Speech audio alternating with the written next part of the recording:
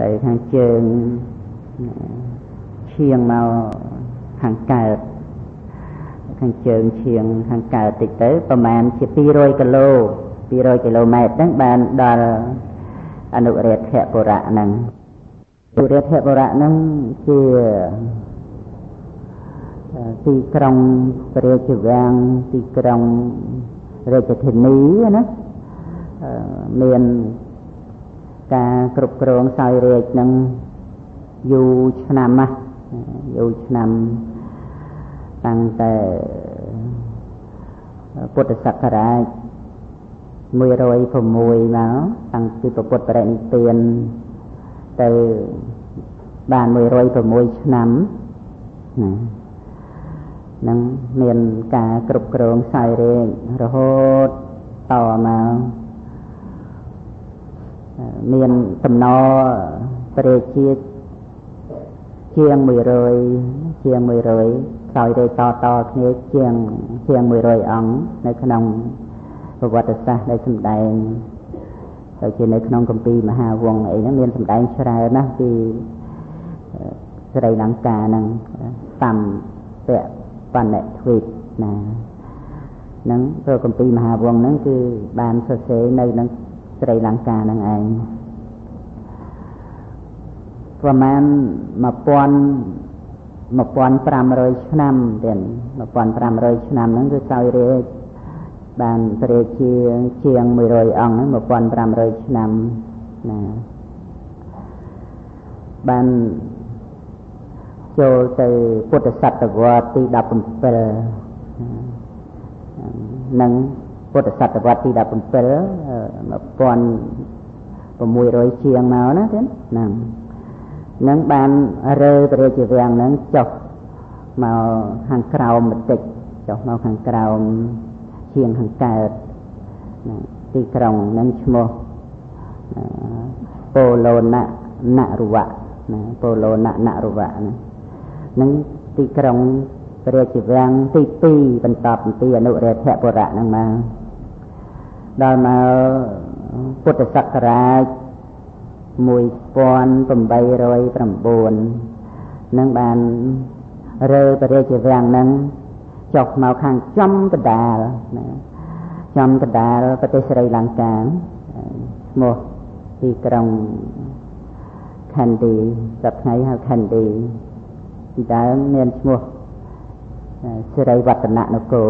សប្ថ្ងៃហៅខណ្ឌទី នៅចំកដាលហ្នឹងដែលសប្ថ្ងៃមានព្រះវិហារព្រះចេតិយបញ្ចុះនៅព្រះចង្គមកែវរបស់ព្រះសម្មាសម្ពុទ្ធបរមគ្រូទេហ្នឹងតែនៅក្នុងថ្ងៃហ្នឹងខ្ញុំកណ្ដាលខ្ញុំបានអធិប្បាយមិនតាន់ដល់ការដែលត្រូវធ្វើដំណើរទៅថ្វាយបង្គំព្រះទេថធាតព្រះចង្គមកែវដែលព្រះនាងហេមៈ មេលាជាមួយនឹងស្វាមីបាននាំយកអំពីដែនកលិង្គៈប្រទេសឥណ្ឌាទៅណានឹងនៅទេសស្រីលង្កាទៀតនឹងព្រះវិហារដែលតម្កល់ព្រះទេតធៀបព្រះចង្គមកែព្រះសម្មាសម្ពុទ្ធនឹងសម្បូរសម្បូរមាសទៀតអត់មានមាសយកទៅបិទទេណាមាសទាំងផ្ទាំងហ្មងណាហ្នឹងពេញមកសម្បូរហ្នឹងគឺមាសសុទ្ធណា ហើយនឹងចាំដល់ដំណើរទៅថ្វាយបង្គំព្រះទេតធាតនឹងខ្ញុំកណាខ្ញុំបាទប្រកេនរៀបរាប់ហើយនេះរៀបរាប់អំពីព្រះរាជវាំងនគរគ្រប់គ្រងក្នុងប្រទេសស្រីលង្កាពីដើមមកនឹងក្រោយពីព្រះអង្គព្រះនិព្វានទៅរួចទៅនៅក្នុង សម័យហ្នឹងក្នុងពុទ្ធសករាជ2048ចឹងប្រទេសស្រីលង្កាហ្នឹងត្រូវប្រទេសដទៃដទៃដណ្ដើមចូលគ្រប់គ្រងណាហ្នឹងគ្រប់គ្រងពី3ចំនួនណាចំនួនទី3ប្រទេសអង់គ្លេសគ្រប់គ្រងគ្រង3ចំនួនហ្នឹង443ឆ្នាំគ្រាន់តែប្រទេសដទៃគេទៅគ្រប់គ្រងណា អស់443ឆ្នាំហ្នឹងរហូតមកដល់ពុទ្ធសករាជ2566 491ទៅបានឯករាជ្យ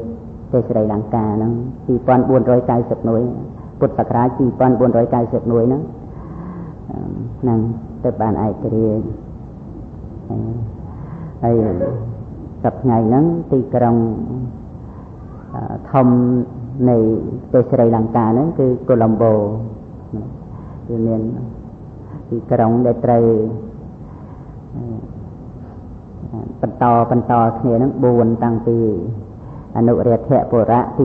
1ពោឡូណនរុវៈទី2ខេនឌីទី3ហើយនឹងកូឡុំបូទី4ហើយប្រទេសស្រីលង្កានឹងរាប់អានពុទ្ធសាសនា ខ្លាំងខ្លាណាស់នៅតាមផ្ទះនៅតាមផ្ទះគេអត់ដាក់ទងជាតិទេទេទងជាតិហ្នឹងមានរូបរូបសឹងចាំដាវប៉ុន្តែអត់តាមផ្ទះគេដាក់ទងពុទ្ធសាសនាតាមផ្ទះធម្មតាផ្ទះតូចផ្ទះធំអីហ្នឹងគេដាក់ទងពុទ្ធសាសនាហើយបើកន្លែងសំខាន់ត្រូវដាក់ទងជាតិមានទងជាតិផងទុកទងពុទ្ធសាសនាផងតាមផ្ទះធម្មតាមិនបាច់ទងជាតិទេណាតែទងពុទ្ធសាសនា ចឹងតែគ្រប់ផ្ទះតាមផ្សារតាមអីចងដាក់ទងពុទ្ធសាសនាដោយស្រុកខ្មែរយើងចឹងឯងណាដោយទងពុទ្ធសាសនាគឺពន្លឺឆប់បណ្ណរាំងសីហ្នឹងហ្នឹងណាហើយថ្ងៃទី1ដែលខ្ញុំកណាសម្រាប់ជាដើមដែលបានទៅហ្នឹងគឺទៅអនុរាធៈពុរៈនេះ អនុរាធៈហ្នឹងក្នុងអនុរាធៈហ្នឹងគឺច្រើនតែដោយសំណល់ប្រាសាទបាក់បែកហើយសល់ប្រជែតទៅជាពិសេសដូចជាធោបារាមទៀតហ្នឹងធោបារាមគឺជាអារាមដែលព្រះមហិន្ទថេរៈព្រះមហិន្ទថេរៈ បានរូបរួមកសាងក្នុងសម័យនៃព្រះរាជាទេវានំបយៈទេសៈនេះតែអានកំចាស់ស្ដាប់លីពនាមណាក្នុងពុទ្ធសករាជ236ណាព្រះមហិន្ទថេរៈនិមន្តទៅជាមួយនឹងព្រះថេរៈ 4អង្គទៀតហើយសុមនៈសាមណេរមួយអង្គសុមនៈសាមណេរហ្នឹងគឺជាបុត្ររបស់ព្រះនាងសង្កមិត្តាជាព្រះរហន្តចឹងហើយនឹងផនតៈឧបាសកម្នាក់ផងណារួមទៅ7រូបណាទាំងព្រះមហិន្ទថេរៈហ្នឹងដែលព្រះមោគលីបតទេសធេរៈនិងប្របាទធម្មាសោកចាត់ ឲ្យចេញទៅផ្សព្វផ្សាយសាសនាមានចេញទៅ9ខ្សែ9ទិសមកសវណ្ណភូមិនៅស្រុកខ្មែរយើងជាដើមហ្នឹងស្រុកខ្មែរយើងក៏ជាចំណែកសវណ្ណភូមិហ្នឹងខ្សែទី8ព្រះសោណធេរៈនិងព្រះឧត្តរធេរៈក្នុងពុទ្ធសករាជ235ណា ទៅស្រីលង្កាក្រោយសវណ្ណភូមិមួយឆ្នាំ236ណាណាពុទ្ធបរិនិព្វានទៅបាន236មកសវណ្ណភូមិ235ណា236ហ្នឹងទៅស្រីលង្កាហ្នឹងខ្សែទី9ហ្នឹងដែលទៅហ្នឹងហើយត្រង់កន្លែងដែលព្រះ មហិន្ទថេរៈនិមន្តទៅនៅក្នុងភ្នំហើយបានជួបព្រះបាទទេវានំពយៈទេសៈហ្នឹងក៏ជាកន្លែងដែលគួរជាទីរលឹកមានរឿងដែលត្រូវនិយាយច្រើនណាស់នៅក្នុងអនុរាធបុរៈហ្នឹងណាហើយធោបារាមនេះជាកន្លែងមួយដែលគួរឲ្យជ្រះថ្លាព្រោះបានបញ្ចុះនៅព្រះធាតុរបស់ព្រះសម្មាសម្ពុទ្ធ ឆ្អឹងដងកបិតខាងស្ដាំទៀតណានៅធោបារាមឆ្អឹងដងកបិតខាងស្ដាំសុមនៈសាមណេរដែលជាបុត្ររបស់ព្រះនាងសង្ឃមិត្តាព្រះនាងសង្ឃមិត្តាដែលដែលដង្ហែដើមមេឃពោធិព្រឹកទី1ជាមួយនឹងភិក្ខុនីទៅណានឹងមានមានបុត្រសុម្នាក់សាមណេរជាព្រះរហន្តមានរិទ្ធទេចឹងនឹងបានមកនាំយក ព្រះធាតុអំពីជីតាគឺប្របាទធម្មាសោកហើយនឹងឆ្អឹងដងកំបិតខាងស្ដាំហ្នឹងទៅយកពីប្រអិនមកចឹងសំណាក់សាមណេរហ្នឹងទៅយកមកហ្នឹងនៅក្នុងព្រះអត្តកថាវិន័យហ្នឹងសមន្តបាសាធិកាហ្នឹងក៏មានសម្ដែងទៅយកពីប្រអិនមកទុកទុកតែព្រះចង្គមកែវស្ដាំខាងលើហ្នឹងទុកនៅឋានតាវតឹងសុំយក ជាឆ្អឹងដងកបិតខាងស្ដាំហ្នឹងពីប្រអិនប្រអិនប្រទានមកយកមកពេញចុះនៅក្នុងខោបារាមណាខោបារាមហ្នឹងមានរូបថតអីបានល្អច្បាស់លាស់ណាធូបារាមហ្នឹងព្រះសធូបហ្នឹងនៅតែព្រះសធូបហ្នឹងមិនជាធំទេអឺប្រហែលប៉ិនព្រះសធូបនៅកន្លែងព្រះអង្គព្រះនិព្វានតែប៉ុណ្្នឹងទេរាងមូលអញ្ចឹងឲ្យស្រួចលើព្រះសធូបដែលធំជាងគេមកលង្ការហ្នឹងគឺព្រះសធូបដែល ប្របាទទុទ្ធគាមិនីអភ័យចៃចៃរបស់ប្របាទទេវានំបយៈទេសៈហើយកសាងកសាងមិនតាន់រួចផងសោយទីរង្គត់ទៅបដិសន្ធិក្នុងរាជរដ្ឋនៃទេវតាជន់តោសិតហើយធ្វើបតិសិនចំពោះសវណ្ណមេរិកៈចេតីហ្នឹងបីជុំឬបានទៅឋានតោសិត និងប្របាទទឹកថាគាមនីអភ័យចៅរបស់ព្រះជាទេវនាមយតសៈធ្វើអតិនរួចផងបានព្រះជាប្អូននៅសោយរាជបន្តទៅក៏សាងបង្ហើយនឹងក៏បានបញ្ចុះនៅព្រះសិរីរិកធាតុដែរហើយធំណានឹងនឹងចាំរៀបរាប់តាមក្រោយឥឡូវរៀបរាប់អំពី ធោបារាមបន្តិចសិនហើយនៅដើមពោធិព្រឹកទៀតនៅប្រកេនគុណចាស់ជាញាតិញោមថ្ងៃក្រោយទៅបន្តបន្តគ្នាណាទៀតមានមានរឿងត្រូវត្រូវប្រកេននឹងជំរាបច្រើនរឿងណាគុណចាស់ញាតិញោមកុំតាន់សួរសំណួរអីផ្សេងផ្សេងណាចាំអិនជាប់មករឿងស្រីលង្កាហ្នឹងសិនណាតែ5ថ្ងៃនេះប៉ុន្តែមានរឿងទៅប្រកេនជំរាបជូនច្រើនព្រោះខ្មែរយើង បាននិមន្តនឹងអញ្ជើញទៅឥណ្ឌានឹងច្រើនប៉ុន្តែស្រីលង្កាមិនសូវឮសូរមានប្រមាណទេណាហ្នឹងកន្លែងធូបារាមហ្នឹងជាកន្លែងសំខាន់ណាស់ទៀតជាបរិភោគចិត្តទៅណាព្រះសម្មាសម្ពុទ្ធអង្គមុនមុនសិតតែធ្លាប់បានគង់នៅកន្លែងហ្នឹងកន្លែងធូបារាមហ្នឹងព្រះសម្មាសម្ពុទ្ធកុសន្ធោ ឡប់បានជាងទៅជាមួយនឹងភិក្ខុសង្ឃហើយរំងាប់នៅរោគដែលអ្នកស្រុកកាលហ្នឹងកើតរោគលង្កាក្នុងសាសនាព្រះសម្មាសម្ពុទ្ធកកសន្ធោហ្នឹងឈ្មោះអោជាទ្វីបហើយបានប្រទាននៅបឋមក្រករបស់ព្រះអង្គបឋមក្រកព្រះសម្មាសម្ពុទ្ធហើយគេក៏បានកសាងទៅចែកដីនឹងនៅកន្លែងធោបារាមហ្នឹង ហើយរួចទៅក៏វិនិច្ឆ័យទៅប្រចែកដីហ្នឹងនោះហ្នឹងមានឈ្មោះអឺមានឈ្មោះតាមសម័យនឹងឯងមិនមិនមែនឈ្មោះថាធោបារាមដោយសពថ្ងៃនេះទេហើយក្នុងសាសនាព្រះសម្មាសម្ពុទ្ធកោណាចេតនោហ្នឹងទ្វីបហ្នឹងឈ្មោះវរៈទ្វីបក្នុងកាលហ្នឹងព្រះអង្គក៏យាងទៅដែរយាងទៅកន្លែងហ្នឹងហ្នឹងកាលហ្នឹងស្រុករាំងភ្លៀង អ្នកស្រុកលំបាកអត់ទឹកហ្នឹងព្រះអង្គយាងទៅព្រះកោណាចេមនោហ្នឹងយាងទៅក៏មានភ្លៀងមានអីហើយព្រះអង្គទ្រង់ប្រទាននៅវត្តគុណចង្កេះហើយក៏បានកសាងកចែកដីនៅកន្លែងខោបារាមហ្នឹងហើយដល់ព្រះសម្មាសម្ពុទ្ធកសបៈទសពលទ្វីបហ្នឹងមានឈ្មោះថាមន្តទ្វីបណាហ្នឹង ហ្នឹងក៏មានមនុស្សឆ្លោះគ្នាកើតការវិវាទគ្នាមានភ័យរឿងចំនួនហ្នឹងព្រះសម្មាសម្ពុទ្ធកសបៈដែលជាងទៅហើយកាលហ្នឹងមានការសម្ដែងព្រះធម៌ណាមនុស្សទេវតាបានសម្រេចអ្នកផលច្រើនណាច្រើនណាព្រះសម្មាសម្ពុទ្ធកកសន្ធោក្តីកោណាចេតនោក្តីកសបៈទសពលក្តីព្រះសម្មាសម្ពុទ្ធកសបៈព្រះអង្គបានប្រទាននៅឧតកសាដក ក៏បានកសាងព្រះសុធោកន្លែងធោបារាមនឹងឯងហើយដល់សាសនាព្រះសំណាក់ទូដំបរមគ្រូនៃយើងនឹងព្រះអង្គធ្លាប់យាងទៅទៅកោះនឹងឯងឈ្មោះតាមពៈបណ្ឌិតធ្វើមានមានឈ្មោះ4តាមចំនួនព្រះពុទ្ធទេឈ្មោះទី1នោះឲ្យជាធ្វើ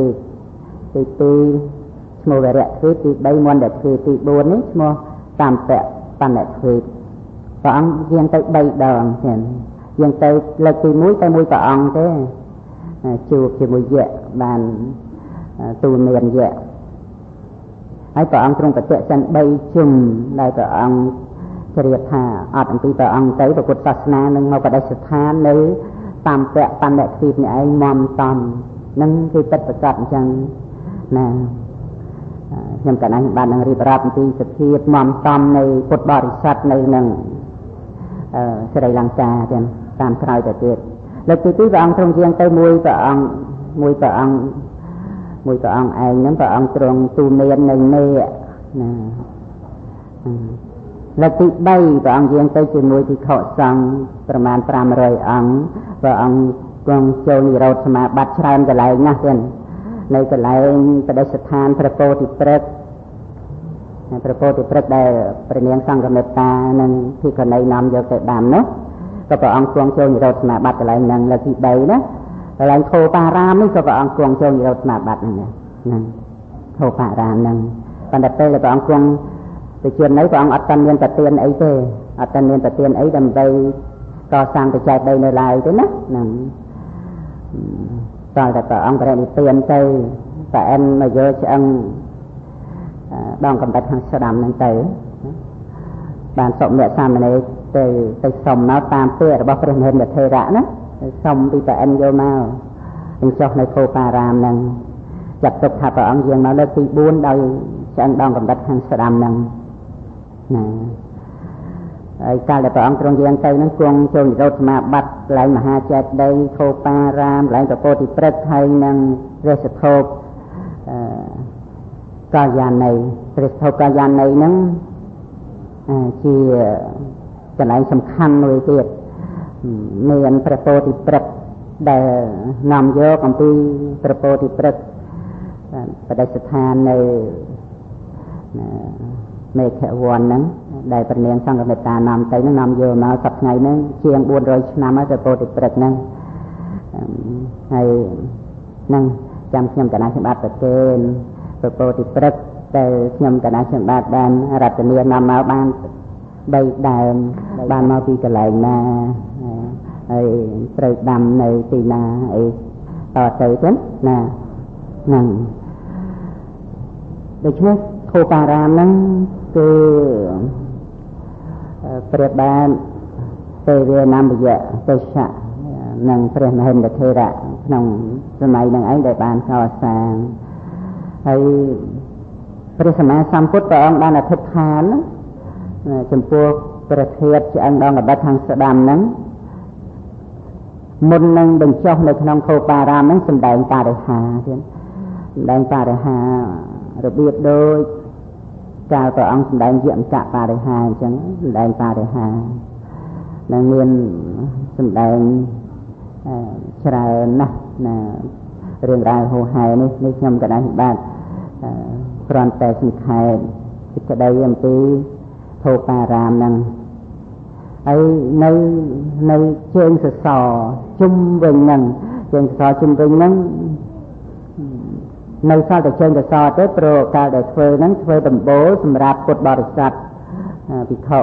ពិខុនៃអីហ្នឹងប្រតិសិនជុំវិញធោបារាមហ្នឹងឥឡូវហ្នឹងដំបូលអីអីហ្នឹងពីនេះបាត់អស់ហើយណា មានការធ្វើពីឈើហ្នឹងដែលច្រើននៅសល់តែជើងសសរជើងសសរថ្មហ្នឹងគឺនៅជុំវិញធោបារាមហ្នឹងណាហ្នឹងធោបារាមហ្នឹងឯងដែលណាពុទ្ធបរិស័ទទាំងបានទៅបូជាប្រកាសហើយញាតិញោមផ្ញើទៅហ្នឹងបូជាច្រើនណាស់ចាប់ញាត់ចាប់ញាត់ចាប់ញាត់ក្នុងទូហ្នឹងណា ហើយទឹកអបក៏បាញ់ទៅជំវិញ ផ្កាក៏បូជាថ្វាយបង្គំហ្នឹងដែលជាកន្លែងសំខាន់នៅក្នុងអនុរាធបុរៈហ្នឹងណាធូបារាមហ្នឹងមានរឿងរ៉ាវនៅក្នុងកម្ពីយើងច្រើនណានៅក្នុងព្រះអត្ថកថាហ្នឹងសម្ដែងណាហើយ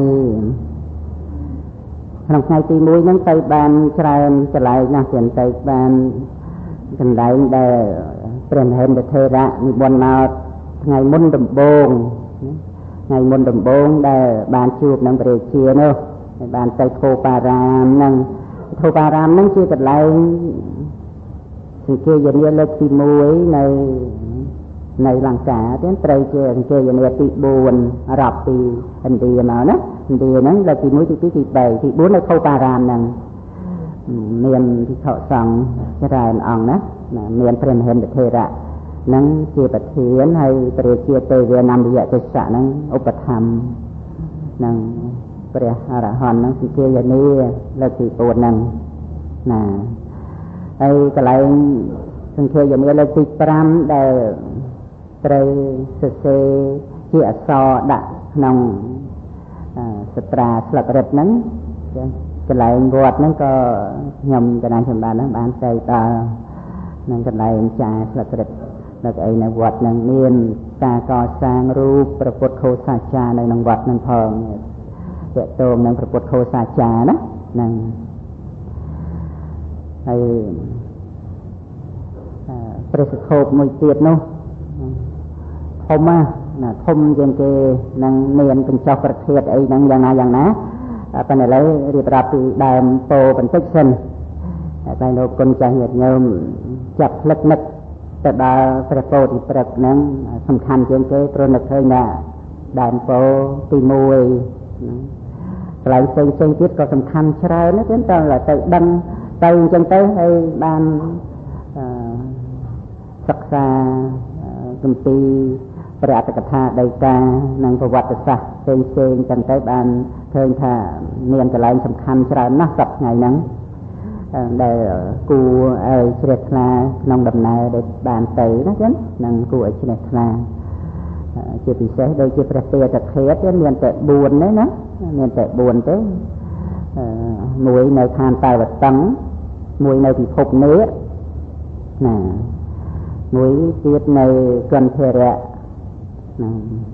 មួយទៀតនៅកលង្កៈនឹងឯងដែលព្រះនាងហេមមេលានិងស្វាមីនាំយកមកស្រីលង្កាហ្នឹងនឹងមានប្រវត្តិប្រកេនគុណចាស់ជាញាតិញោមច្រើនណាស់ហើយមួយនៅស្រីលង្កាហ្នឹងអត់បានទៅមើលឃើញទេទេគេអត់ឲ្យឃើញទេគ្រប7ជាន់ណា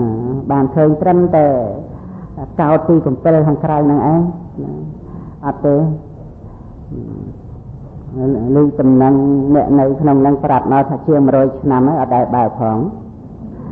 តាពៀនណានិយាយនិយាយបានចូលទៅទៅទៅនេះនៅចូលទៅហ្នឹងគឺសុំអនុញ្ញាតសម្បើមណាស់ចូលទៅហ្នឹងទៅដល់ម៉ោង5វាភ្លឺម៉ោង6ត្រូវចេញមកវិញអស់ត្រូវធ្វើពិធីបិទអ្នកស្រុកស្រីលង្កាហ្នឹងទៅបាននៅខាងក្រៅទៅហៀទេស្វែងអង្គមអ្នកខ្លះទៅស្វែងអង្គមពីក្រោយមកខាងទលេណា មានបានចូលទៅទេណាអត់ទេណាការពី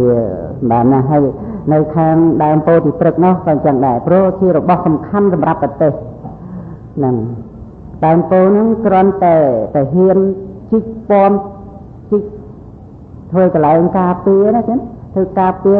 ដោយកន្លែងគេធ្វើសង្គ្រាមមុំតំអញ្ចឹងណា5ជាន់មុននឹងចូលទៅដល់របងវត្តណា 5ជាន់គឺត្រូវតែហ៊ានយាមអត់មានចូលតាមផ្លូវណារួចមានតែផ្លូវមួយហ្នឹងឯងតែហ៊ានយាម5ជាន់ណាហើយបានចូលទៅដល់របងហ្នឹងគឺយាមមួយទៀតដែលចូលទៅម្ដងម្នាក់ម្ដងម្នាក់ម្ដងម្នាក់អីសង្ស័យកបោកអីអីធ្វើឆែកណាណាហើយ អត់មានយកទឹកអប់អីទៅបាញ់ក្បែរបាញ់ចិត្តអីបានទេទឹកអប់ញាតញោមឆ្ងាយទៅបាញ់បានពីខាងក្រៅរបងវត្តទេខាងក្នុងហ្នឹងហាមតែទុកទឹកអប់នៅហ្នឹងក៏គេមិនឲ្យទុកដែរគេខ្លាចមានលាយឆ្នាំលាយអីអត់អត់បាញ់បានទេណាមានរបងវត្តរបងវត្តព្រះពោធិព្រឹកហ្នឹងមកជន់ចូលទៅក្នុងហ្នឹងរំចូលអស់មនុស្សទៅបានរបងទី2គឺ ធ្វើជាផ្ទះព្រះពោណាទី2ហ្នឹងហៅថាផ្ទះព្រះពោហ្នឹងធ្វើខ្ពស់ទៅលើប្រមាណជា3ហាត់អីហ្នឹងពោះទៅលើហ្នឹងហ្នឹងមានលបងហើយមានទ្វារចូលទៅនឹងបានដល់ដំណាក់ទី2ណាដល់ទៅដំណាក់ទី3បានឡើងទៅលើដំណាក់ទី3ហ្នឹងមុនបងគេថាឲ្យមនុស្សទៅតែឲ្យឡើងបានតែ30នាក់ឯង តបានរំបានថាសិទ្ធិអ្នកប្រាថ្នាបន់ទាំងអស់គ្នាណាចឹងបានសុកចិត្តឲ្យឡើងទៅម្ដង30នាក់ម្ដង30នាក់ហើយឡើងទៅហ្នឹងអត់មានមនុស្សយូរអីបានទេគ្រាន់តែបានមើលអ្នកចង្អុលប្រាប់ហ្នឹងមេឃណាសំខាន់ចាស់មេឃណាទឹកតែដុសថ្មីអីហ្នឹងហើយគល់ហ្នឹងភុំពាត់ដោយរបងចិត្តមើលឲ្យមើលឲ្យគល់នៅចាប់ដីមើលអត់ឃើញទេហ្នឹងតែតែផុតពីគល់មកបន្តិចបានមើលឃើញណាហ្នឹងហើយឃ្លានហ្នឹងឲ្យចុះមកវិញហើយឲ្យយាមនៅមើលមនុស្សសកម្មភាពមនុស្សធ្វើអីខ្លះធ្វើអីខ្លះហ្នឹងនឹងជាន់ទី3ណា3ដំណាក់ហ្នឹងហើយនៅយាមពីខាងក្រៅនោះ5ដំណាក់រួមទៅ8ដំណាក់ដើមពោទីព្រឹកហ្នឹងណា ពោជាដើមពោទី1ណាហ្នឹងអ្នកដែលត្រូវគោរពអីអត់ងាយបានចូលទៅធម្មតាទេណាទេអ្នកសេរីលង្ការខ្លួនឯងហ្នឹងក៏អត់ទេអត់មានចូលទៅលវិនលវៀនទៅពីប្រទេសអីទេហ្នឹងបានដើមពោដែលបន្តពីនឹងទៅវត្តផ្សេងផ្សេងអីទេនាំគ្នាគោរពចូលទៅចិត្តអីបានដើមពោទី1ហ្នឹងអត់គេមិនអនុញ្ញាតឲ្យចូលទៅ ទៅពីប្រទេសរដ្ឋអរិយអីថាធូររលងធម្មតាអីអត់បានទេណាដូចនៅឥណ្ឌាធូរជាងតែនៅឥណ្ឌាធូរជាងនៅស្រីលង្កានេះតឹងរឹងមែនទែនណាតែហ៊ានយាមកាន់កភ្លើងជ្រុងច្រាងមកមកផ្នែកមកផ្នែកហ្នឹងទេយាមណាយាមណីណាហ្នឹងហើយដើមប្រពោហ្នឹង ជាង2000ឆ្នាំណាទេណា2300ជាងហើយជាង2300ឆ្នាំហើយ